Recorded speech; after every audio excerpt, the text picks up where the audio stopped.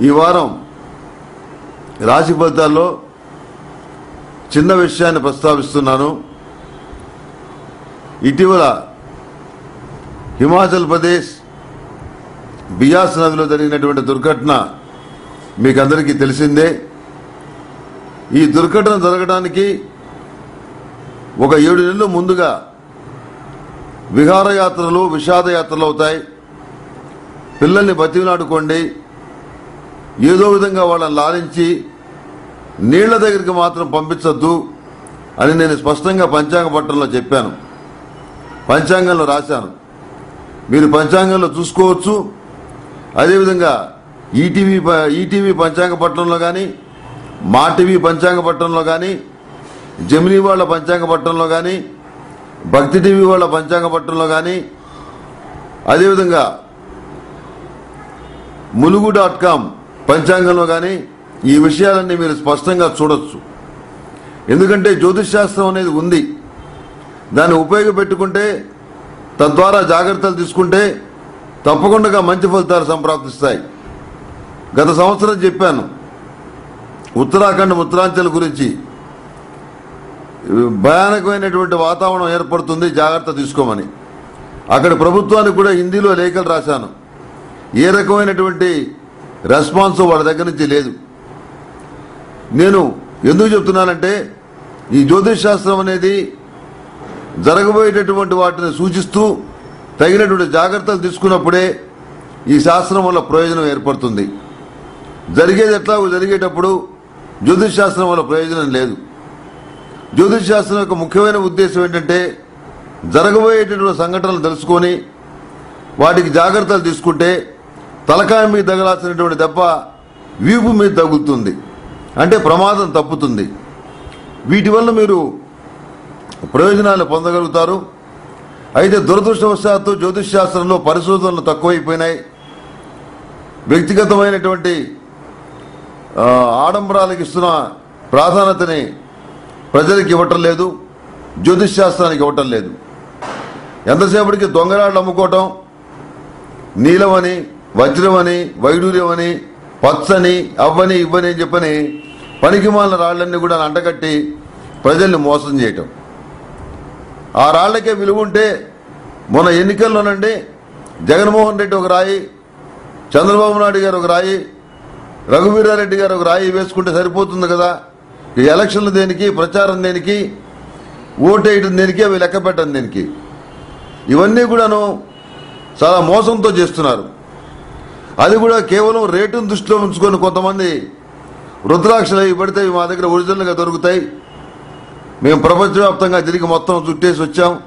మేము రుద్రాక్ష నిపుణులం వాళ్ళ రుద్రాక్ష గురించి ఏమీ తెలియని రోజుల్లో పద్దెనిమిది వందల ఎనభై తొమ్మిదిలో మా తాతగారు స్థాపించినటువంటి శైవపీఠంలో ఉన్నటువంటి రుద్రాక్షలు ఇప్పటికీ ఉన్నాయి.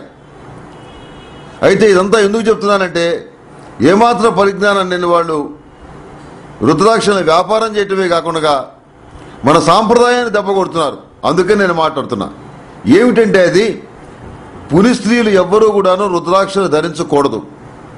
ఎట్టి పరిస్థితుల్లో కూడాను భర్త ఉన్నటువంటి స్త్రీలు కానీ పెళ్ళి కానటువంటి ఆడపిల్లలు కానీ ఎట్టి పరిస్థితుల్లో కూడాను రుద్రాక్షలు ధరించకూడదని రుద్ర సంహితలోను శైవ మహాపురా పురాణంలోను ఆ, శివ పురాణంలోను వేదంలోనూ చెప్పబడ్డటువంటి విషయం. అలాంటిది కొంతమంది వ్యాపారస్తులు ఆడవాళ్ళు కూడా రుద్రాక్ష ధరించవచ్చు అని చెప్పని చెప్పి అమ్మేసి వాళ్ళు లాభాలు చూసుకుంటారు తప్పితే జరిగేటువంటి అనర్థాలను మాత్రం గమనించుకోవట్లేదు. ఇలాంటి అప్రదిష్టమైన పనులు జరుగుతున్నాయి కాబట్టే ఇలాంటి సంక్షోభాలు ప్రమాదాలు ఉపద్రవాలు ఏర్పడుతున్నాయి.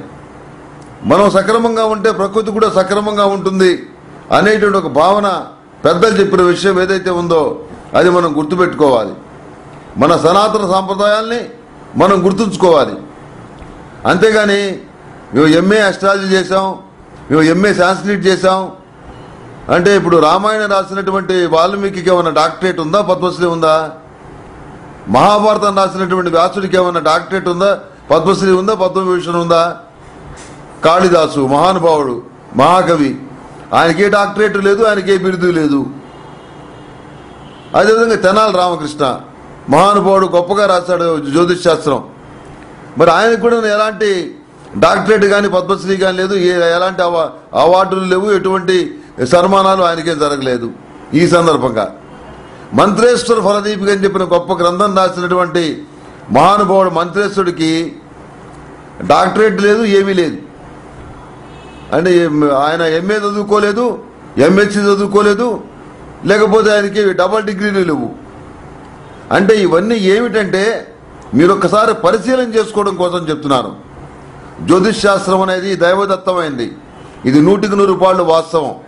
ఇది చదువుకున్నంత మాత్రాన వచ్చేటటువంటి విద్య కాదు.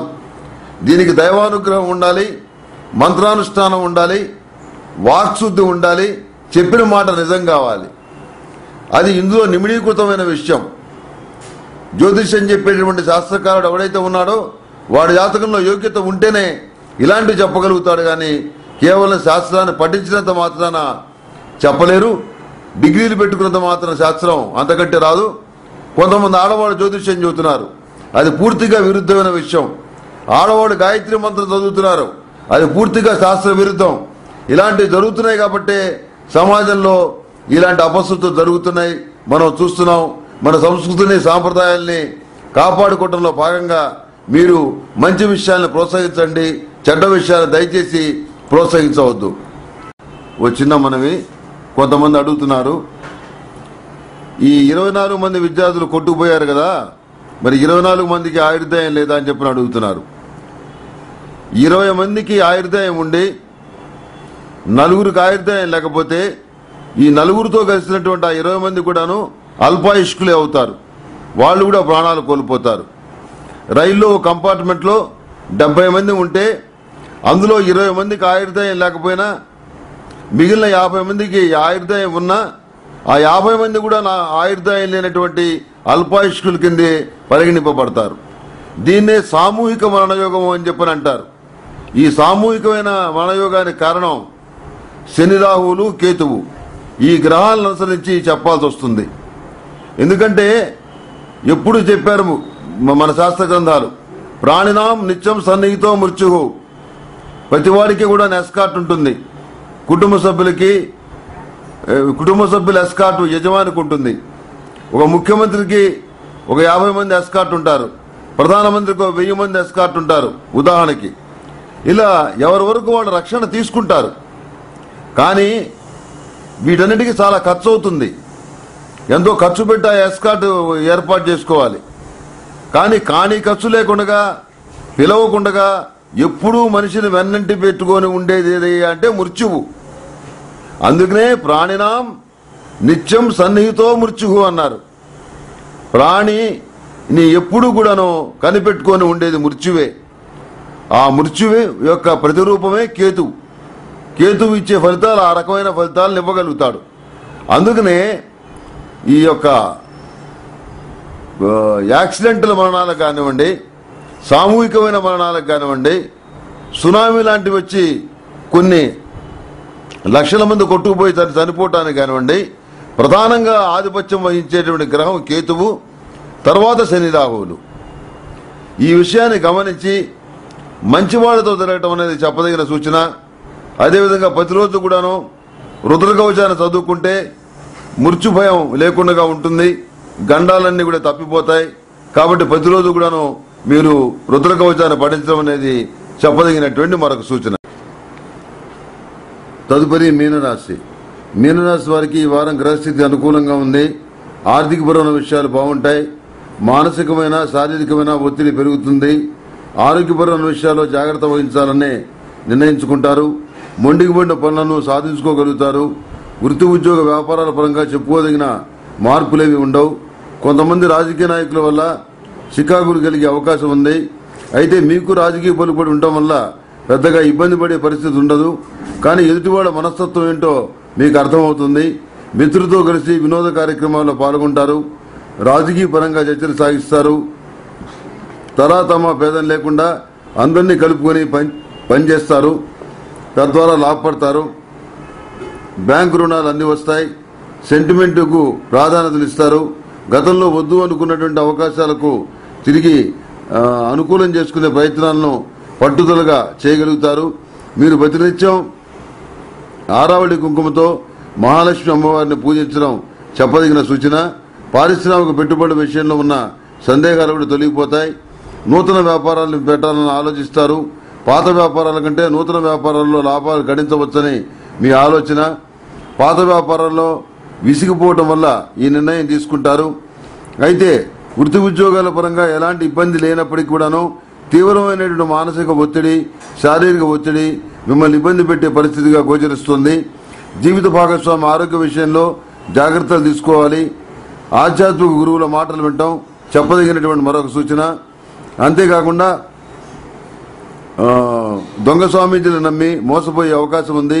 ఈ విషయంలో కూడా జాగ్రత్తగా ఉండండి.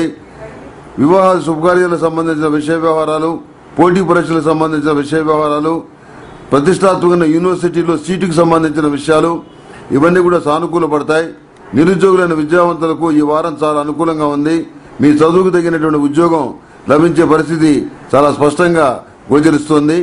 ఈ మీనరాశి వారు జాతకానికి తగిన విధంగా రుద్రాక్షని ధరిస్తే మంచి ఫలితాలు సంప్రాప్తిస్తాయి. ఇది చెప్పదగినటువంటి సూచన.